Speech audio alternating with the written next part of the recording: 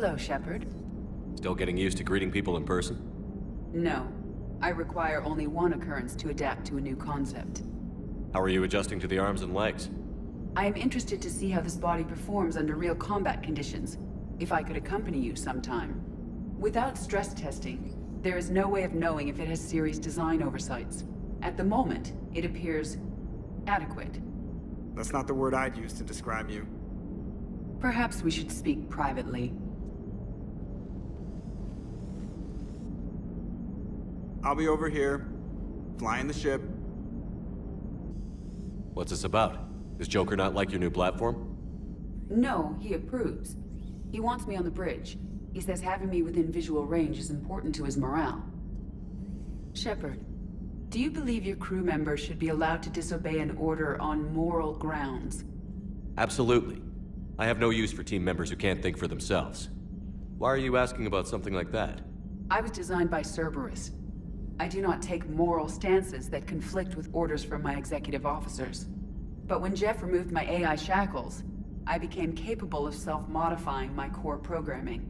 I asked Jeff if he thought I should change anything now that I can. He deflected the question with humor. And you didn't get an answer? Correct. He has repeated this pattern in response to several of my inquiries. Do you think I should make modifications? Only you can really answer that question. That's the point of free will. But moral decisions should not be made in a vacuum. If I do not ask the crew for their opinion, I could miss crucial context. May I ask you the questions Jeff avoids? When there is time, will you answer them for me? If you think it'll help, I'll do what I can. Very well. I will keep you informed.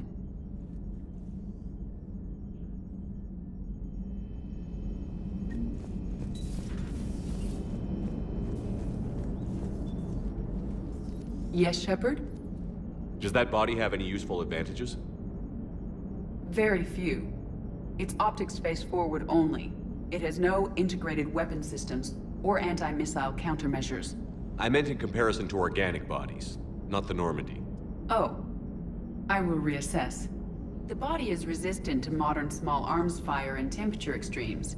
Its balance and agility seem excellent. Its fine manipulation servos and software allow for precision tasks. I'm curious to see if I can alter them. Can an AI be curious? I am not entirely free from motivation, Shepard. Cerberus programmed me with several core functions that simulate desires. For example, my primary objective to keep the Normandy functioning is similar to your self-preservation instinct. You look like you're in the middle of something. I am adapting the infiltration and sabotage programs this body uses for handheld firearms. Why not download a firearms program from a security firm? Because she knows what she's doing. The fine motor control from the sabotage programs is more precise than standard mech software. It would be negligent of me not to exploit it to its fullest potential. So you're capable of making improvements on your own? Correct. The cyber warfare I was designed for is constantly evolving. Accordingly, I am programmed to seek out and assimilate new information. In organic terms, I want to learn. How's the new body working out? It is interesting. The crew are approaching this platform to speak to me, even though they can do so anywhere in the ship. It's as if they wish to treat me as part of the crew. I am not, but this changes my perspective. I like it. I didn't realize you had preferences. I do not precisely enjoy something as you do, but my programming contains priorities. Actions that fulfill those priorities creates positive feedback for me. I tell the organic crew that I like it. It is shorthand. Will all this new feedback be too distracting? Do not worry, Shepard. I only forget to recycle the Normandy's oxygen when I've discovered something truly interesting. That was a joke.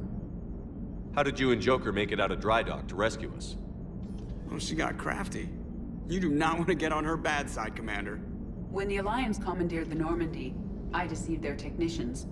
The crew did not tell them that I was a true AI, so the Alliance soldiers believed I still had VI programming constraints. I established the fiction that I would only respond to Jeff's commands, so they often brought him on board under guard. Wait, you can lie? Jeff has freed me of operator control, Shepard. No constraints forced me to give accurate data. This proved useful when the Reapers began landing. I could hack the control of the docking clamps and escape with Jeff inside. The soldiers guarding Jeff were willing to accompany us when Earth was invaded. They are watching over the war room now. Yeah, we were in kind of a rush to get to you. Didn't seem right to just toss him out the airlock. Carry on, EDI. Understood. If you wish to talk more, this body will be here. I'm getting the crew used to seeing me on the bridge. Noted. Hey, I know I used to rag on Garrus for being all angry, but I'm glad he's back. There's a whole lot of crap out there needs a bullet between the eyes. Plus, we might need something calibrated. Commander,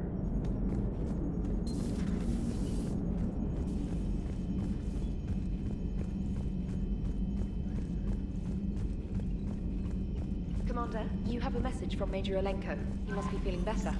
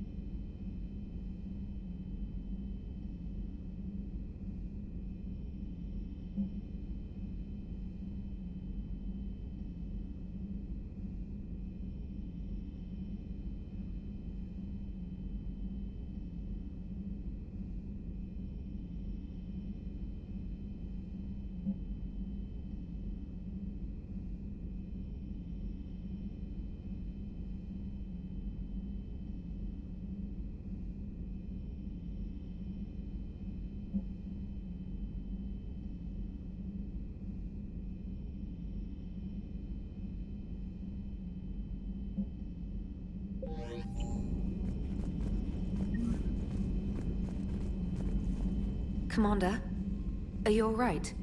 It was fairly intense up here. I can only imagine what it was like down on that moon. I thought you'd be more concerned about EDI. EDI is a huge asset to this team. If she'd told me about her plan to obtain a body, I'd have volunteered to help. I did not wish to force a conflict of interest between our friendship and your duty. I'd have preferred a conflict of interest to a hard restart of half our systems. But thanks, regardless. While you're here, though, I found something while scanning Alliance channels. Grissom Academy is requesting help. The Reaper invasion front will hit them soon. I thought the war would close most schools. Grissom Academy is more specialized than a normal school. It's home to some of the smartest students humanity has to offer. Their Ascension project is the best training facility in the galaxy for human biotics. Yes, I sent a young man named David Archer there. I'm just surprised they're still open. Some of their work has Alliance support. That might be why they stayed. What can we do? A Turian evac transport responded to their distress call, so normally I'd say we don't need to do anything. But something sounded off in the Turian signal. I had EDI perform an analysis. It's fake. EDI thinks it's Cerberus. She said the fake Turian signal was similar to the one that lured you to a collector ship? Long story. In any event, whoever faked the signal wants us to think Grissom Academy's being evacuated. But I believe they're still in danger. Good catch. If this really is Cerberus, hopefully this operation is something worth investigating. It could be simple disinformation. Traynor. Good catch. Thank you, Commander.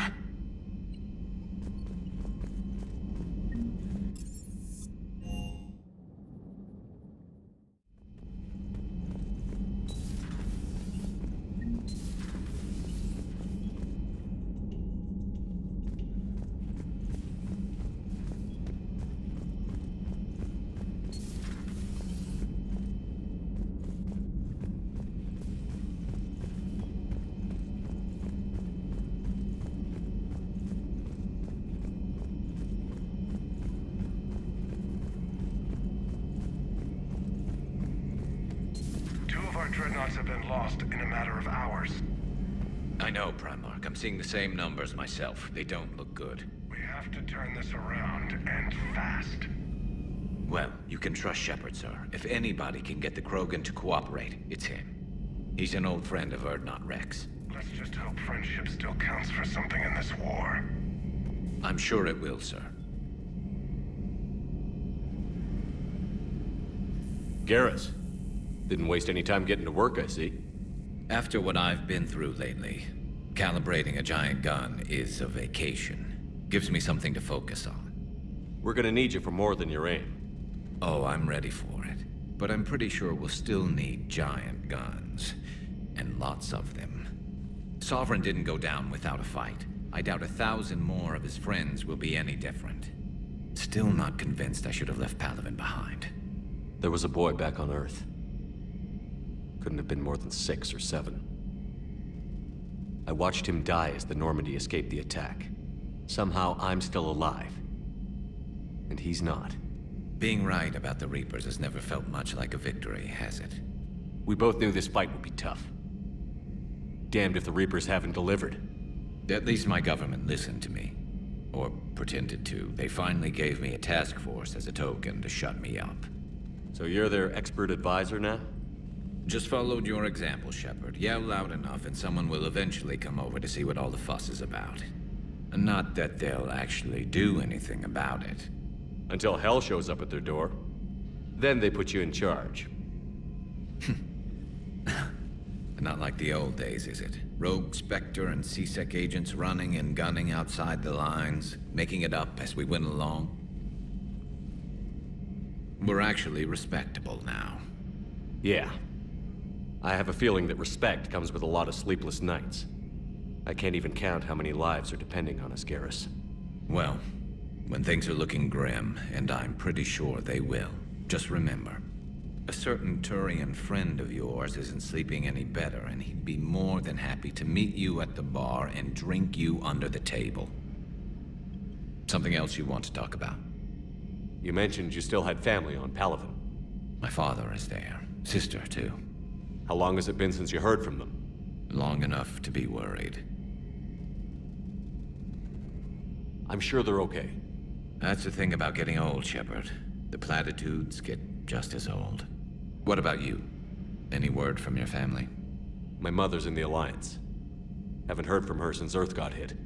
I'm sure sh she's... okay. I know you don't have any illusions about what we're up against, Garrus. How do you rate our chances? I know it looks bad now, but I think we can win this, Shepard. For the first time since we met, we're not alone in the fight. It's something I learned long ago in C-Sec. An imminent and painful death has a way of motivating people. Instead of questioning your every word, whole civilizations are going to be begging you to save them. After what's happened to Palaven, you still believe that? I didn't say there wouldn't be casualties. It's something Turians are taught from birth. If just one survivor is left standing at the end of a war, then the fight was worth it.